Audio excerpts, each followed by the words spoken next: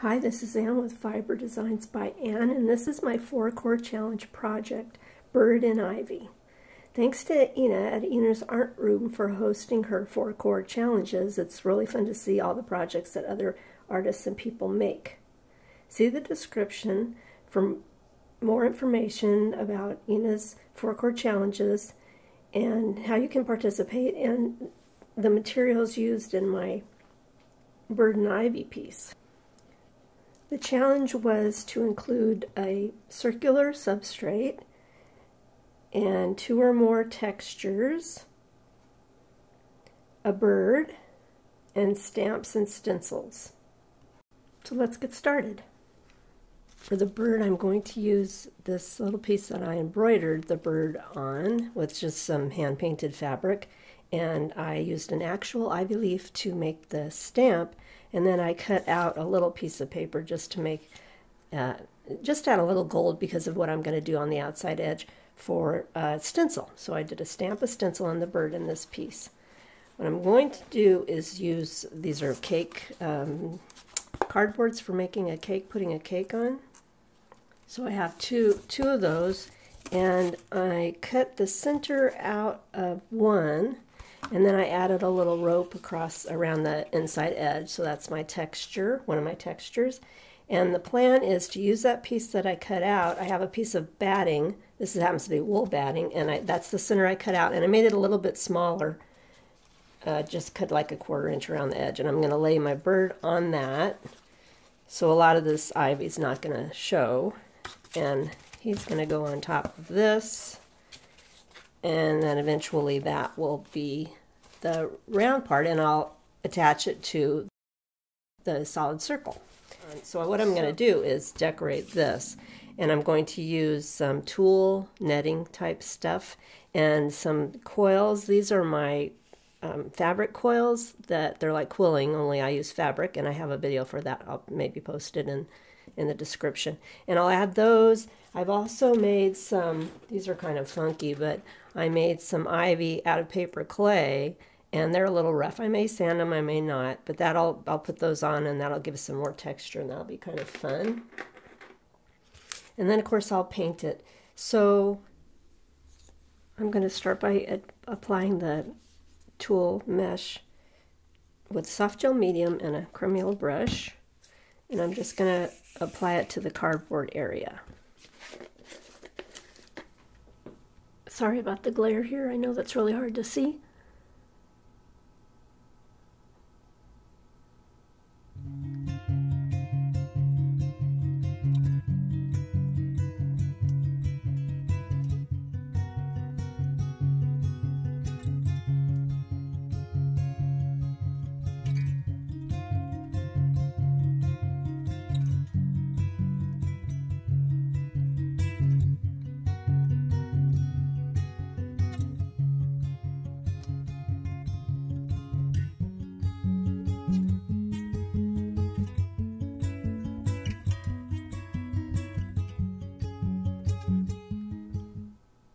Now I'm going to just let that dry.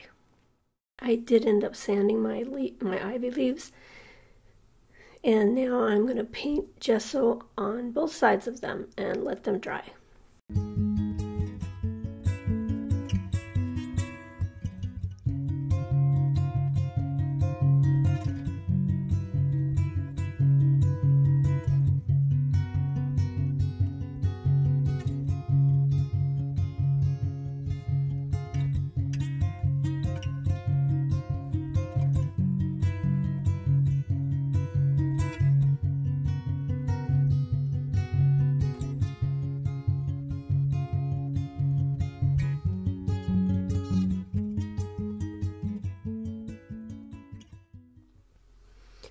I'm going to go ahead and glue my circle to the back and I'm leaving the, the side that'll show white for now. So I'm going to glue that on there. I've painted my ivy leaves and um, I decided to make some, these are fabric covered wire, make a few little tendril kind of things just to give it a little bit more, uh, just something a little bit different. My piece with the, the mesh uh, tulle on it is dry and so I'm going to start placing those pieces.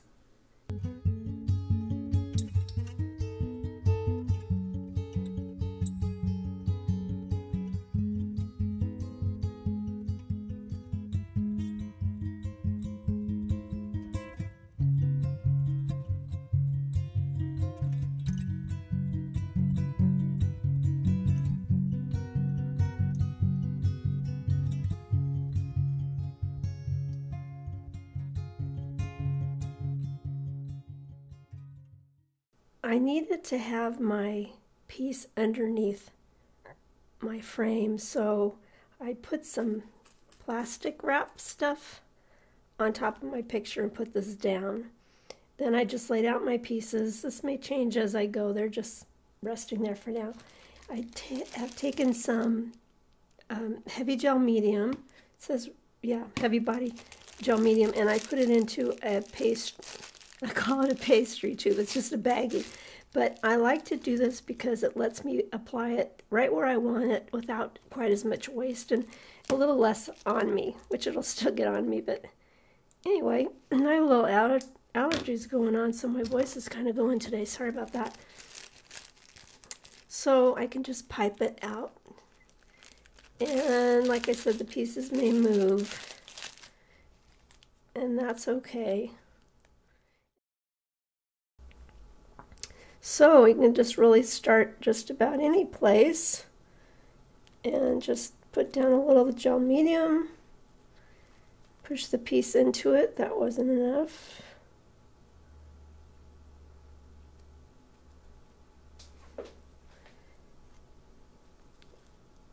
So I'll just move on with this and speed it up.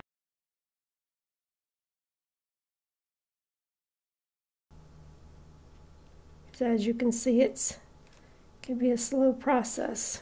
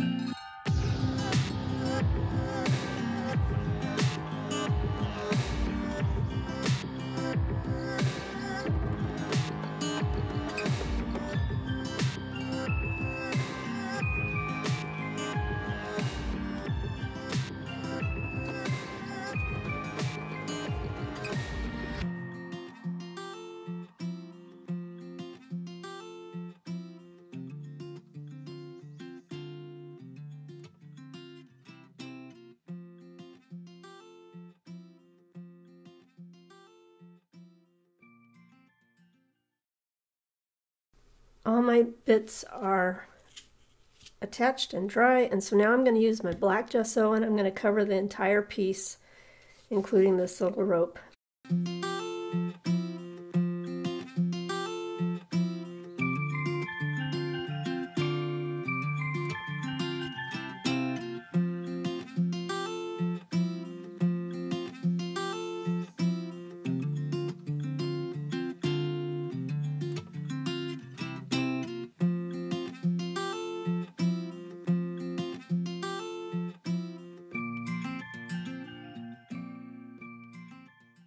Okay, so that's all painted. If I see any places, I'll touch them up. And I'll just let that dry now. now the gesso is all done and it's dry and I'm going to go ahead and start with some dry brushing. I'm not totally sure what paint I'm going to use, although I think they're going to all be metallic, and uh, but they'll be down in the description. Oh, I wanted to mention one thing. I went ahead while I had the the uh, gel medium in the plastic bag like this. I went ahead and did a little bit of stems just around the ivy leaves, just to give it a little more. Well, sorry to say, as happens sometimes, I didn't push the button hard enough and so I didn't record the gold, but I'll do another color and it's pretty much the exact same process. Sorry about that.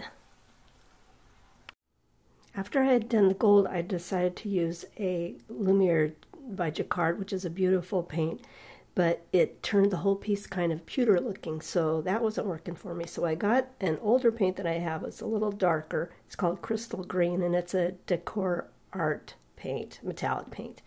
And then after I did that, I used a, um, I went back to the original gold, which is Emperor's Gold, also by DecoArt.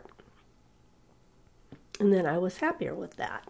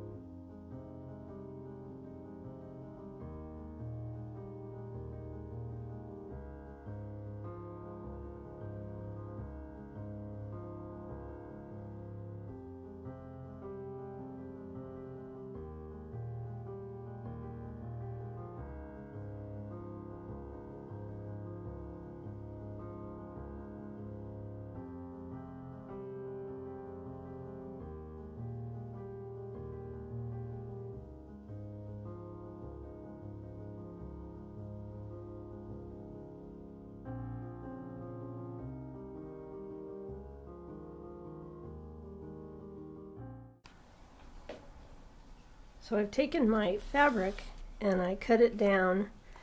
The circle is glued on, you might remember. Then there's the batting, which I have wool just because I had it. And the bird is on there so that when I put this on, the frame on, it's a space on both sides of the tail and the branch.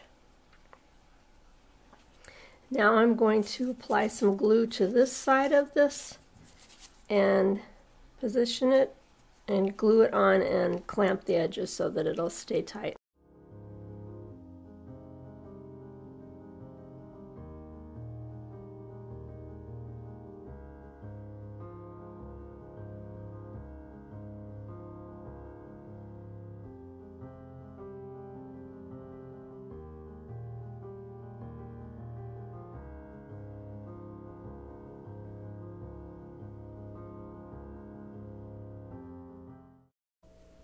I cut out some little pieces of tulle in case the clothespins would stick or leave some kind of mark.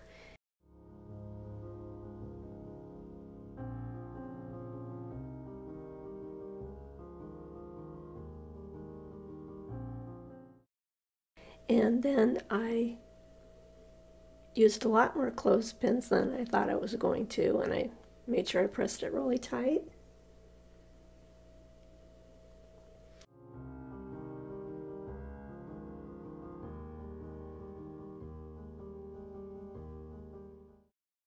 And then I took the gel medium in the same little baggie I had and I went around the edge so that it would give a little bit of a seal to the edge for what I was going to apply next. For the back, I painted some paper towel to match the front colors and the same paints, and then I cut it, tore it up into strips, put the part that had a straight edge around the side of the piece, and then brought it up to the back, and then I used my gel medium to glue all that down and then I, the torn pieces to cover the entire back like a collage. The back of my piece is finished and the edge is all done. And I decided that I'm going to put a little a grapevine around the outside edge. I started with a wreath like this, this little inexpensive wreath that you can purchase. I soaked it in I soaked it in hot water for a while until I could stretch it out into this And then I took, because this isn't very wide, I took the strands I thought I needed, and I think I've got four here, and I stretched them, cut them out, and pinched, them with clothespins, and now I'm going to stitch it so that it makes a nice sort of rope of these vines. And then I'll apply it to the outside edge. So I'm just using some jute kind of string and a big needle that's not sharp, and we'll see how it goes. And I'm going to just have it tied on, and I'm just going to whip it around.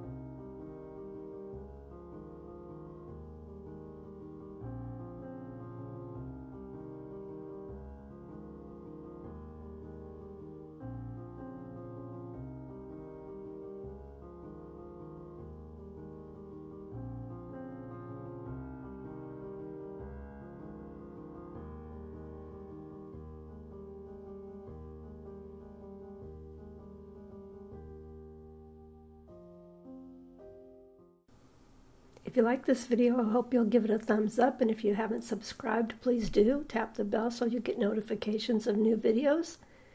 This has been Ann. Thanks a lot for watching.